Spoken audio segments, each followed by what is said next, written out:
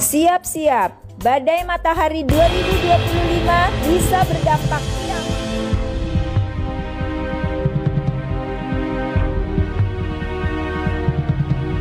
Ada prediksi badai matahari tahun 2025. Nah, apa sesungguhnya badai matahari ini? Dan pengaruhnya terhadap kehidupan kita manusia ya atau kehidupan di bumi. Ini yang memungkinkan apa ya bisa membuat kita manusia itu ada uh, rasa terganggu gitu, atas keadaan dan situasi yang disebut-sebut bakal terjadi badai matahari. Badai matahari ini diprediksi akan terjadi di tahun 2025 mendatang. Salah satu dampaknya yakni akan terjadi kiamat internet di bumi.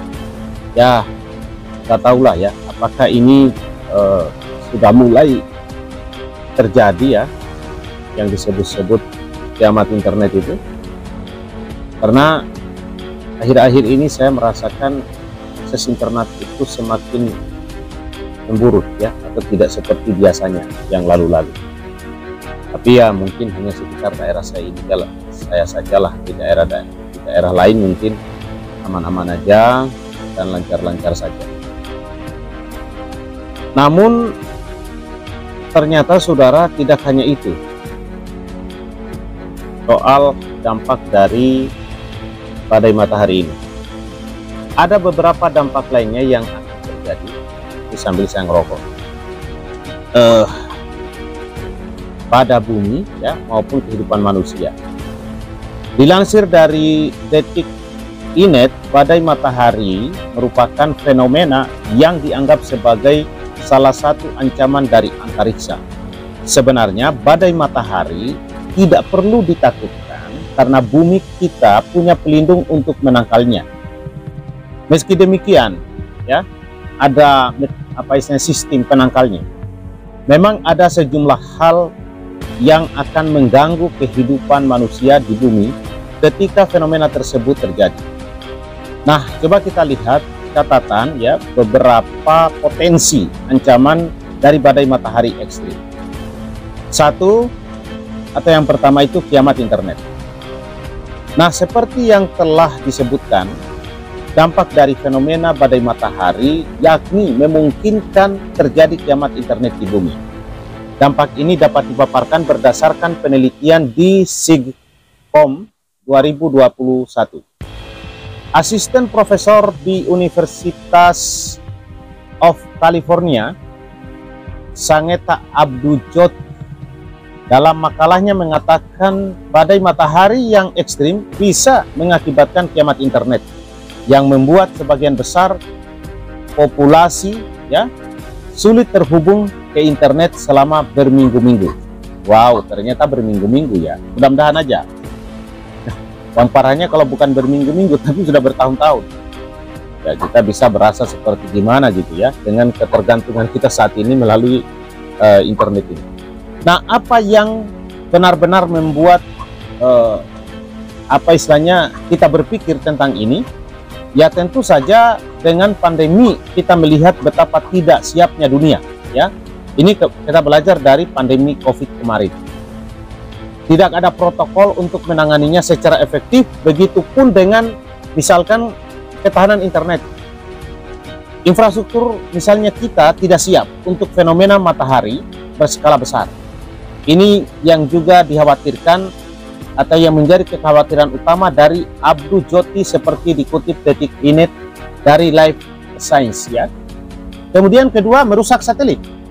Ya tentu saja kalau sudah ada gangguan soal internet berarti itu satelit ada ancaman atau bermasalah gitu.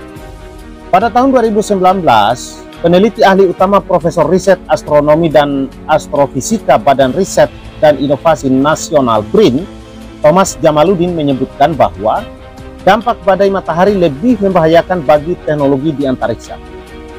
Membahayakan ya, tetapi bukan pada kehidupan manusia, hanya bagi teknologi antariksa. Itu catatannya ya. Ketika satelit-satelit terkena badai matahari, ya tentu saja ya uh, sudah akan bermasalah.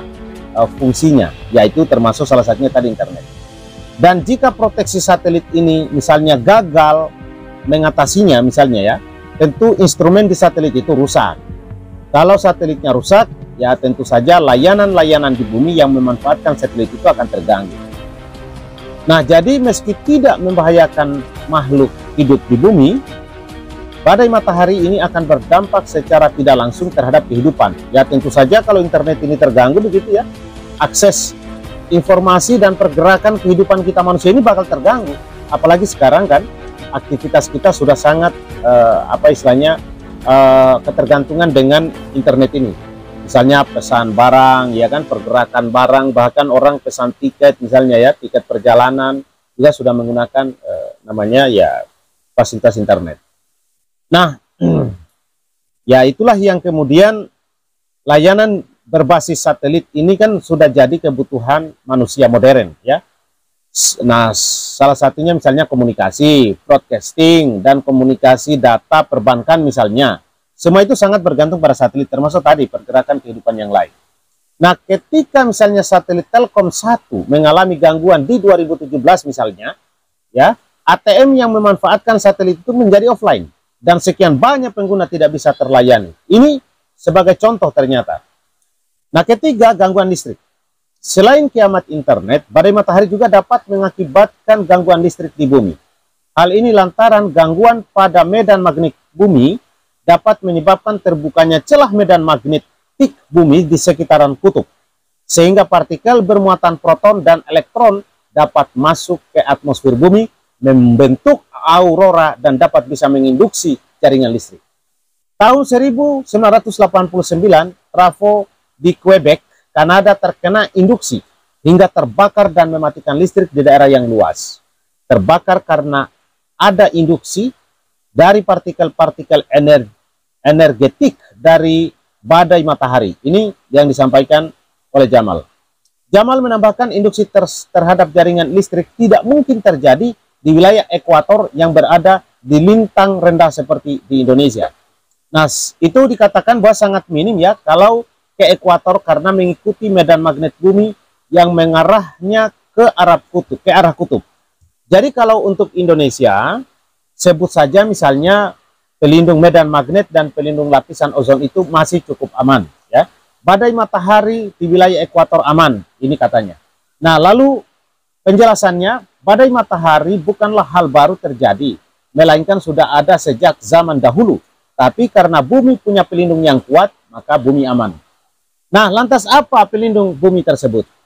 Dijelaskan bahwa bumi memiliki dua pelindung yang kuat. Pertama, lapisan magnetosfer atau medan magnet yang melindungi dari partikel energetik atau berenergi tinggi berisi proton dan elektron sehingga tidak membahayakan manusia di bumi. Kedua, ada lapisan ozon yang melindungi radiasi ultraviolet dari matahari karena pada saat badai matahari terjadi, terjadi peningkatan pancaran partikel energetik atau partikel berenergi dan radiasi dari matahari. Nah, ini kira-kira saudara ulasan tentang kurang dan lebihnya dampak matahari terhadap bumi dan yang disebut-sebut dampak badai matahari itu tadi, ya, dan kehidupan kita sebagai manusia. Nah, semoga kurang dan lebihnya menambah pengetahuan sahabat, dan saudara di mana pun berada. Yang pasti, kalau kita ramah terhadap lingkungan, ramah terhadap bumi, dalam arti tumbuh-tumbuhan itu kita betul-betul jaga begitu ya. Pada saat kita manfaatkan, kita pergunakan, kita tetap jaga kelestariannya, tentu saja alam akan senantiasa ramah dan memberikan berkat dan rahmatnya terhadap kita manusia. Tapi sebaliknya, kalau kita misalnya hanya ya apa istilahnya e, mengejar uh, keduniawian maka bumi ini kita lu apa kita obrak abrik begitu ya hutan kita mainkan pepohonan kita mainkan ya udah alam pun tidak akan pernah ramah dengan kita sebagai manusia. Itu saudara sebagai tambahannya ya. Jangan lupa untuk uh, senantiasa mendukung channel Mimbar Suara Rakyat TV ini. Like share dan komen. Assalamualaikum warahmatullahi wabarakatuh. Salam sejahtera buat saudara dan sahabat di mana pun berada merdeka merdeka dan tetap merdeka. Siap-siap, badai matahari 2025 bisa berdampak kiamat.